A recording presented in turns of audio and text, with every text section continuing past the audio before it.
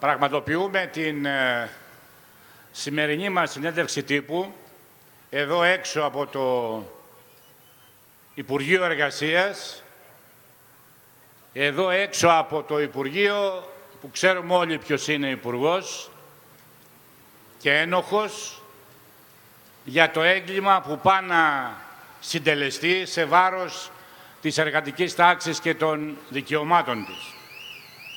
Πραγματοποιούμε τη σημερινή μας συνέντευξη γιατί θέλουμε και να ενημερώσουμε τους εργαζόμενους, αλλά κυρίως θέλουμε να δώσουμε συνέχεια στην εργατική απάντηση σε κυβέρνηση και εργοδοτικές οργανώσεις για ένα νομοσχέδιο που είναι οδοστρωτήρας ό,τι απέμεινε από αυτό που λέγεται εργατικό δικαίωμα. Θέλουμε να δώσουμε συνέχεια στις κινητοποιήσεις μας, που είναι αναγκαίες και γι' αυτό θα κάνουμε ό,τι περνάει από το χέρι μας, να είναι μαζικές, να είναι μαχητικές, αποφασιστικές, με ένα στόχο. Θέλουμε το νομοσχέδιο αυτό και διεκδικούμε, απαιτούμε να αποσυρθεί. Η κυβέρνηση της Νέας Δημοκρατίας κατέθεσε αυτό το νομοσχέδιο, το οποίος και ονόμασε αναπτυξιακό, που ξέρουμε όλοι ότι η συζήτηση έχει ξεκινήσει στις Επιτροπές της Βουλής και με το νομοσχέδιο αυτό θέλει να κάνει νόμο πλέον όλα τα αιτήματα, μα όλα τα αιτήματα των επιχειρηματικών ομίλων και κυριολεκτικά, όπως είπαμε προηγουμένως, θέλει να σαρώσει ό,τι απόμεινε από τα εργατικά δικαιώματα. Η κυβέρνηση προκλητικά θέλει να εξοραίσει την αντεργατική επίδεση που συνεχίζει με νέα ορμή από εκεί βεβαίως που άφησε η προηγούμενη κυβέρνηση, η κυβέρνηση του ΣΥΡΙΖΑ. Σερβίρει μαζί με τα σκληρά αντεργατικά μέτρα μια σειρά από επιμέρους διατάξεις που τις ονομάζει τάχα φιλεργατικές, κάτι σαν μέτρα με κοινωνικό πρόσημο του ΣΥΡΙΖΑ, που δήθεν θα ενισχύσουν την πλήρη απασχόληση, θα χτυπήσουν, έτσι λέει, την αδήλωτη εργασία, θα καταπολεμήσουν την εργοδοτική παραβατικότητα, όταν το αντίθετο κάνει το πολυνομοσχέδιο, ενισχύει το αντεργατικό οπλοστάσιο μέσω του οποίου θεργεύει η εργοδοτική ασυδοσία, είναι αυτό που λέμε στη λαϊκή γλώσσα, έχουν ξεσαλώσει οι εργοδότες. Με μεγάλο θράσος η κυβέρνηση της Νέας Δημοκρατίας επιχειρεί να κάνει με το πολυνομοσχέδιο το μαύρο άσπρο και να εμφανίσει ένα νομοσχέδιο ως φιλεργατικό που επιφέρει συντριπτικό χτύπημα στις συλλογικές συμβάσεις εργασίας, ειδικά στις κλαδικές, βάζει, αν θέλετε, σε μόνιμη πρέσα τους μισθούς και επίσης θέτει υπό ασφικτικό έλεγχο, κρατικό έλεγχο, τη λειτουργία των συνδικάτων με ηλεκτρονικό φακέλωμα και βεβαίως το χτύπημα των συλλογικών διαδικασιών των συνδικάτων που είναι οι γενικές συνελεύσεις, ε, οι συγκεντρώσεις κλπ. Ταυτόχρονα δίνει γη και είδωρος στους επιχειρηματίες με νέες φοροαπαλλαγές, διευκολύνσεις από κάθε είδους προνόμια. Ενώ στο όνομα της καταπολέμησης της γραφειοκρατίας δίνεται η δυνατότητα για επενδύσεις όπου και με όποιους όρους θέλουν οι κεφαλαιοκράτες, θέλουν δηλαδή με τον τρόπο αυτόν να δώσουν τα πάντα και έτσι ξεσαλώνουν, το ξανατονίζουμε οι εργοδότες, σε βάρος του λαού. Ποια είναι όμως η αλήθεια για το πολυνομοσχέδιο, τα πράγματα μιλούν από μόνα τους.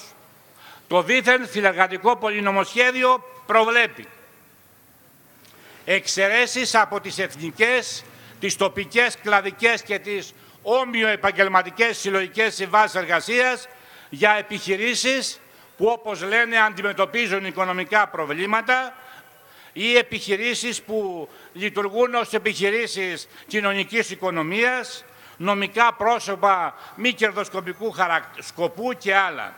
Έτσι, με τον τρόπο αυτόν, καθιστά και τους εργαζόμενους συνυπεύθυνους στην κατάσταση της επιχείρησης, λες και συνδιοικούσαν μαζί με τον εργοδότη και καρπώνονταν τα κέρδη, δηλαδή αγαπητοί συνάδελφοι, ο εργοδότης θα πληρώνει όσο θέλει, όταν θέλει και όποτε θέλει.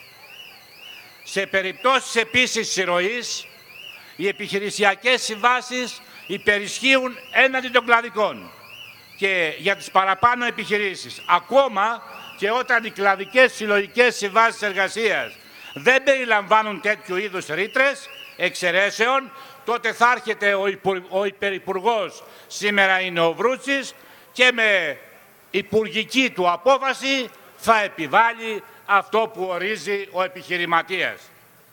Επίσης, σε περιπτώσεις συρροής, η τοπική σύμβαση υπερισχύει ακόμα και της εθνικής κλαδικής και της ομοιοεπαγγελματικής. Επίσης, ακόμα και όταν γίνεται δυνατό να υπογραφεί μια κλαδική συλλογική σύμβαση για την επέκτασή της στο σύνολο του κλάδου, πέρα από τον όρο που υπογράφεται από εργοδότες που απασχολούν ποσοστό μεγαλύτερο από το 50% των εργαζομένων του συγκεκριμένου κλάδου, θα πρέπει, ακούστε τώρα, στη σχετική αίτηση επέκτασης να ελέγχονται οι επιπτώσεις, λέει, στην ανταγωνιστικότητα των επιχειρήσεων και τη λειτουργία του ανταγωνισμού. Δηλαδή, υπέγραψε σύμβαση, αλλά πάει κόντρα στην κερδοφορία των επιχειρήσεων ή του κλάδου ή της συγκεκριμένης επιχειρήσης. Άρα απορρίπτεται.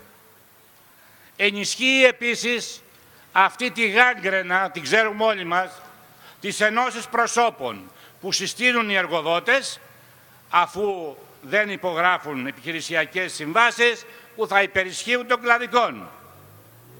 Επίσης, προβάλλει νέους περιορισμούς για την προσφυγή των εργαζομένων στον οργανισμό, το γνωστό ΟΜΕΔ, καθώς η δυνατότητα μονομερούς προσφυγής πάβει να υπάρχει. Και εδώ απαιτείται να αποδεικνύουν ότι η υπογραφή συλλογικών συμβάσεων συνάδει με την λειτουργία της οικονομίας, όπως λέει το νομοσχέδιο. Δηλαδή πάλι και εδώ θα είμαστε υπό το, κάτω από την καρμανιόλα, από το μαχαίρι, αν η επιχείρηση είναι κερδοφόρα, αν ο κλάδος έχει κέρδη, αν, αν η εργοδοσία, ε, η φτωχιά εργοδοσία μπορεί να τα βγάλει πέρα εντός εισαγωγικών. Επίσης, ένα ακόμα σοβαρό ζήτημα που αφορά όλους τους εργαζόμενους στο εμπόριο και τις υπηρεσίες, αλλά αφορά και όλη την εργατική τάξη. Εξαιρεί τα κέντρα διανομής εμπορευμάτων πώλησης από την Κυριακάτικη Αργία. Δηλαδή, οι εργαζόμενοι στις αποθήκες στο σούπερ μάρκετ και στα λεγόμενα logistics που εργάζονται κάτω από τις πιο άθλιες εργασιακές σχέσεις και συνθήκες με την εντατικοποίηση, όπως ξέρουμε όλοι μας, να χτυπάει κόκκινο, δεν θα έχουν μέρα να ξεκουραστούν και να περάσουν με την οικογένειά τους. Καταργεί ένα δικαίωμα κατακτημένο και πάρα πολλά χρόνια πίσω με θυσίες και σκληρούς αγώνες. Και αυτό το παραχωρεί, το δίνει, το δίνει στην, για την κερδοφορία του κεφαλαίου, για την κερδοφορία του συγκεκριμένου ε, κλάδου, ενισχύοντας έτσι την εκμετάλλευση των εργαζομένων, το ξανατονίζουμε, διαλύοντας κάθε προσωπική και οικογενειακή ζωή των εργαζομένων στον κλάδο. Επίσης, οι γνωστές απειδέλτα, οι αναλυτικές περιοδικές δηλώσεις σε ηλεκτρονική μορφή δεν γίνονται δεκτές από τον ασφαλιστικό φορέα για τις περιόδους που οι εργοδότες δεν έχουν καταβάλει ασφαλιστικές φορές. Δηλαδή και εδώ καθιστά υπεύθυνο τον εργαζόμενο, συνυπεύθυνο θα λέγαμε, για τη μη καταβολή των ασφαλιστικών εισφορών από τον εργοδότη, με αποτέλεσμα τη μη αναγνώριση των ενσύμων.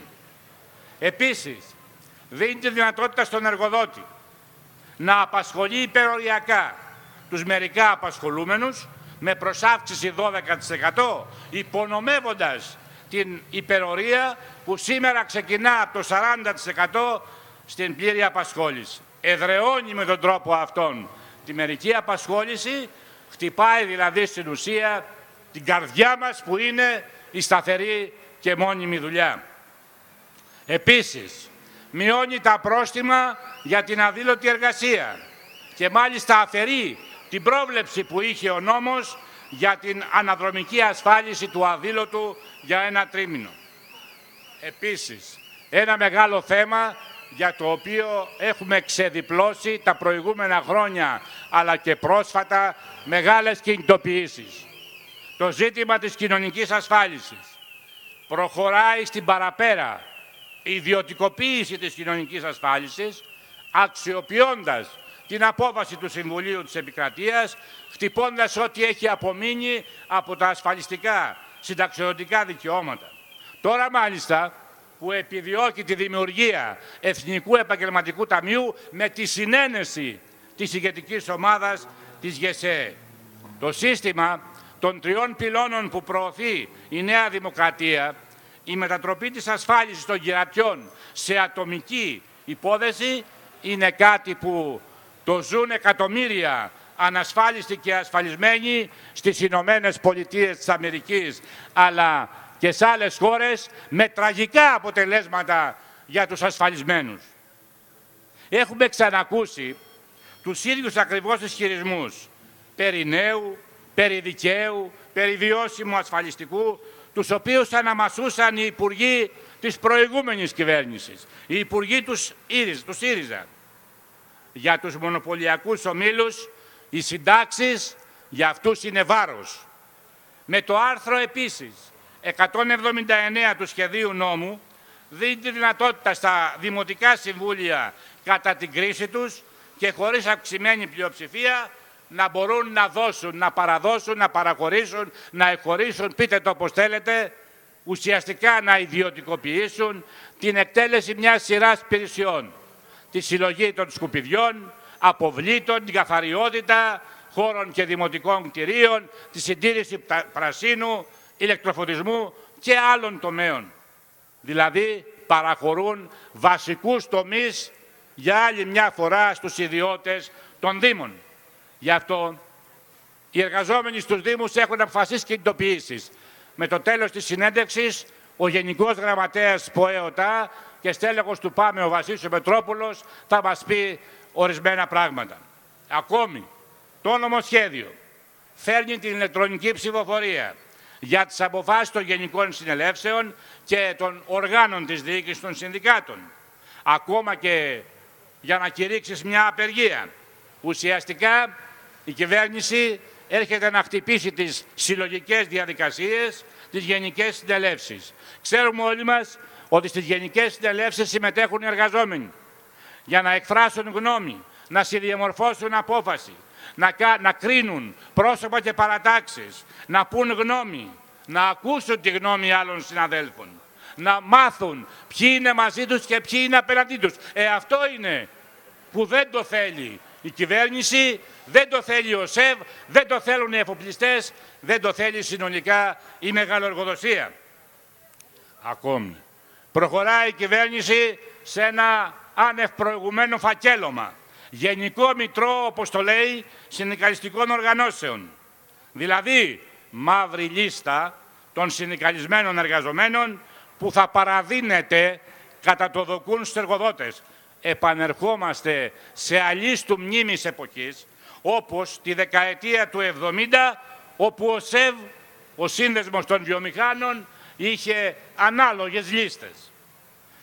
Με πρόσχημα τη δημοκρατία και πόσο υποκριτικό ακούγεται από μια κυβέρνηση που εκλέγεται από το 27% όσων έχουν δικαίωμα ψήφου να ζητά από τα συνδικάτα το 50 1. Θέλουν δηλαδή να χτυπήσουν τη δημοκρατική λειτουργία των συνδικάτων, να ανοίξουν δρόμο, το ξανατονίζουμε και το φακέλωμα των εργαζομένων. Επιχειρούν να κόψουν τους δεσμούς των συνδικάτων με τους εργαζόμενους, επιχειρούν να διαλύσουν αυτό το ξανατονίζουμε που λέγεται Γενική Συνέλευση και να αποφασίζουν συλλογικά οι εργαζόμενοι για τις κινητοποιήσεις τους. Επιπλέον, όλα τα κρίσιμα ζητήματα για την εφαρμογή των εν λόγω αντιδραστικών διατάξεων παραπέμπονται, ακούστε, στο μεγάλο ηγέτη, τον Υπουργό Εργασίας. Δηλαδή, λέει μεν αυτά ο νόμος, μπορεί όμως ο Υπουργός να έρθει αύριο με μια υπουργική απόβαση να προσθέσει και νέα αιτήματα των βιομηχάνων και να, με μια νέα υπουργική απόφαση, με νέες υπουργικές αποφάσεις, να στραφεί εναντίον των συνδικάτων. Είναι λοιπόν φανερό ότι με το νομοσχέδιο αυτό η κυβέρνηση υλοποιεί όλα τα αιτήματα του ΣΕΒ. Θυμάστε ότι ο εκπρόσωπος του ΣΕΒ στη Γενική του Συνέλευση είχε πει ευχαριστούμε την κυβέρνηση του ΣΥΡΙΖΑ που υλοποίησε το 40% των αιτημάτων μας. Ε, τώρα λοιπόν θα ευχαριστήσει ο ΣΕΒ την κυβέρνηση της Νέας Δημοκρατίας και τον κύριο Βρούτσι για το υπόλοιπο 60% που το υλοποιεί βεβαίως η κυβέρνηση της Νέας Δημοκρατίας. Διαμορφώνουν δηλαδή, πατώντας πάνω στους προηγούμενους νόμους, η σημερινή κυβέρνηση διαμορφώνει ένα μηχανισμό που θωρακίζει την κερδοφορία των επιχειρήσεων και βάζει ως μοναδικό κριτήριο για τους εργαζόμενους την κερδοφορία των μεγάλων επιχειρήσεων. Δηλαδή, το ξανατονίζουμε γιατί έχει μεγάλη σημασία, ο Υπουργός θα ελέγχει τα πάντα. Θα ελέγχει τις γενικές συνελεύσεις, θα ελέγχει τα διοικητικά συμβούλια, τα θέματά τους, τις αποφάσεις τους. Ε, σε λίγο θα τον κάνουμε και πρόεδρο, μαζί με τον πρόεδρο του, του ΣΕΒ και των άλλων εργοδοτικών οργανώσεων. Επίσης, αγαπητοί συνάδελφοι, ε, η κυβέρνηση χαρακτηριστικό, χαρακτηριστικό για τη συνέχεια της ενιαίας αντεργατικής επίθεσης είναι το γεγονός ότι θέλει να στηρίξει τις νέες διατάξεις και χρησιμοποιεί τα αντίστοιχα αντιδραστικά μέτρα που έχουν προχωρήσει στις χώρες της Ευρωπαϊκής Ένωσης ήδη από την δεκαετία του 1990. Τι χρησιμοποιεί ακόμα; Την Επιτροπή Εμπειρογνωμόνων, των ειδικών εμπειρογνωμόνων που άφησε η προηγούμενη κυβέρνηση του ΣΥΡΙΖΑ, στο πόρισμα της οποίας από το Σεπτέμβριο του 2018 περιέχονται συστάσεις για μια σειρά ε, απορρίτρες εξαιρέσεων στην εφαρμογή των κλαδικών και ομοιοεπαγγελματικών συλλογικών συμβάσεων. Ο ένας λοιπόν παίγει τη σκητάλη της ανταγαδικής επίδεσης από τον άλλο. Ο σημερινός Υπουργός Εργασίας ήταν αυτός που έφερε το μνημονιακό νόμο Βρούση για τον καθορισμό του κατώτατου μισθού, τον οποίο βεβαίως αποδέχτηκε η επόμενη κυβέρνηση με την προηγούμενη Υπουργό, την κυρία Αξιόγλου. Σε ό,τι αφορά τη συνδικαλιστική δράση, το πολυνομοσχέδιο προωθεί την απροκάλυπτη παρέμβαση του κράτους και της εργοδοσίας μέσα στα συνδικάτα. Αυτή είναι η ανάπτυξη που θέλουν να επιβάλλουν με τέτοια μέτρα ούτως ώστε να υπάρχει αφωνία στους χώρους δουλειάς, ούτως ώστε να μην παρεμποδίζεται, ο, έτσι λένε, ο βασικός τους στόχος που είναι η κερδοφορία των επιχειρήσεων. Αγαπητοί συνάδελφοι και εκπρόσωποι των μέσων μαζικής ενημέρωσης, οι ομοσπονδίες, τα εργατικά κέντρα και τα συνδικάτα που συσπηρώνουν στο ΠΑΜΕ συνεχίζουμε με μεγαλύτερη μαχητικότητα τη δράση μας ενάντια στο κατάπτυστο αυτό νομοσχέδιο, διεκδικώντας σύγχρονους όρους δουλειάς και αμοιβή.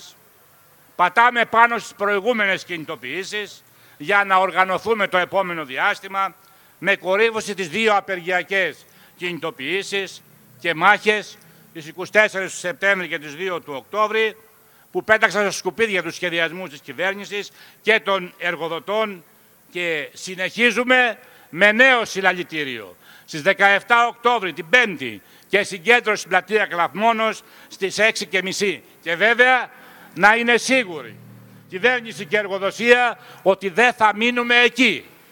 Κλιμακώνουμε την πάλη μας το επόμενο διάστημα, παίρνοντας νέα μέτρα κινητοποιήσεων, τα οποία θα τα ανακοινώσουμε πολύ σύντομα και αυτά. Να πάρει πίσω τώρα η κυβέρνηση το νομοσχέδιο, σκούπα για τους εργαζόμενους, και τις συνδικαλιστικές ελευθερίες. Με το σύνθημα «Κάτω τα χέρια από τα συνδικάτα», διεκδικούμε σύγχρονους όρους δουλειάς και αμοιβής ζωή με δικαιώματα. Δίνουμε τη μάχη της ενημέρωσης σε κάθε κλάδο και χώρο δουλειάς. Δυναμώνουμε το μαζικό και ενωτικό ρεύμα αντίστασης στην αντιλαϊκή επίθεση κυβέρνηση των επιχειρηματικών ομήλων. Κάνουμε κάλεσμα σε κάθε εργαζόμενο να συμμετέχει στις μαζικές συλλογικές διαδικασίες για συζήτηση και απόφαση αγωνιστικής δράσης. Καλούμε όλες τις συνδικαλιστικές οργανώσεις να πάρουν τα αναγκαία μέτρα για τη συζήτηση μέσα στους χώρους δουλειάς, στους κλάδους, για τις γενικές συνελεύσεις παντού, που πρέπει να είναι μαζικές, μαχητικές, να οργανώνουν την πάλη για την επιτυχία του σελεγγυρίου και όπως είπαμε για τη συνέχεια της κλιμάκωσης. Δηλαδή, συνάδελφοι, αξιοποιούμε το βασικό μας όπλο, τις συλλογικές διαδικασίες που κυβέρνηση και εργοδότες θέλουν να χτυπήσουν. Οι εργαζόμενοι δεν πρέπει να δείξουν καμιά ανοχή, καμιά αναμονή στα αντεργατικά μέτρα της κυβέρνησης και της εργοδοσίας. Να μην υποκύψουν σε εκβιασμούς και το ρεαλισμό που σημαίνει παράδοση, γιατί τέτοιο ρεαλισμό μιλούν, ρεαλισμός της υποταγής. Ρεαλισμός για μας είναι η προσπάθεια με όλες μας τις δυνάμεις να οργανώσουμε την πάλη μας, διεκδικώντας να κάνουμε πράξη τις σύγχρονες ανάγκες μας. Καλή δύναμη στους επόμενους αγώνες.